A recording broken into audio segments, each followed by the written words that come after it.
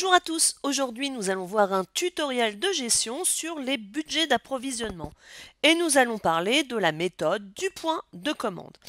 Alors avant de commencer, on va faire quand même un petit point sur les différents programmes d'approvisionnement existants.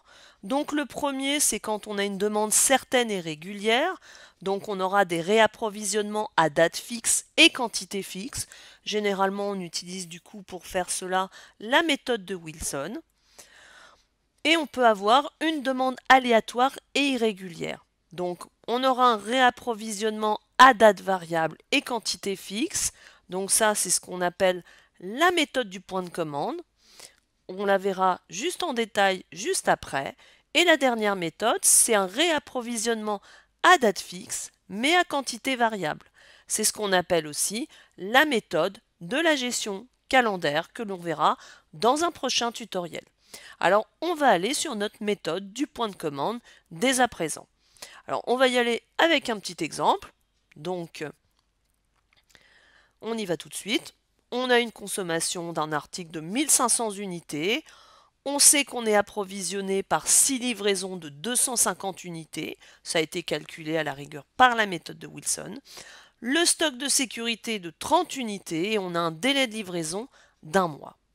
Alors, on a ce petit euh, cadencier euh, qui nous est donné. Donc on a notre stock de début de mois qui a 280 articles et on a nos consommations qui ont été évaluées, hein, qui sont inscrites au sein de notre cadencier. Alors maintenant, bah, il, va falloir remplir ce cadencier pour déterminer quand nous allons avoir nos livraisons. Donc là ici, si je prends euh, je dirais euh, mon premier mois, mon mois de janvier, mon stock de début est de 280, ma consommation est de 80, donc mon stock théorique de fin de mois serait de 200. Donc est-ce que j'ai besoin d'être livré ce mois-là? Non. Donc mon stock réel fin de mois est de 200. Ce stock, je le reporte en février. Donc stock début de mois, 200 articles. J'en consomme 95. Du coup, en stock théorique fin de mois, il me reste 105 articles. Est-ce que j'ai, euh, est-ce que je suis en dessous de mon stock de sécurité? Non. Donc ce mois-là, je n'aurai pas besoin de livraison. Donc mon stock fin de réel fin de mois est de 105 unités. Au mois de mars, je reporte ce stock. Et là, bah, ça se voit tout de suite, hein, mon stock théorique fin de mois serait de moins 15, donc j'aurais pas assez. Donc, ça veut bien dire que j'ai besoin d'être livré. Donc ma livraison se fera donc au mois de mars. Donc en réalité, hein, si j'ai un délai de livraison de un mois, ça veut dire que ma commande par contre serait passée au mois de février. Nous sommes bien d'accord. Donc là du coup on aura ma livraison au mois de mars et là mon stock réel fin de mois est à 235. Je reporte pour le mois d'avril. Avril, j'ai un stock de début de 235 articles, j'en consomme 145, il m'en reste 90, je suis au-dessus de mon stock de sécurité, j'ai pas besoin d'être livré, donc mon stock réel fin de mois est égal à mon stock théorique. Au mois de mai, bah, ça, se voit à l'œil nu, hein.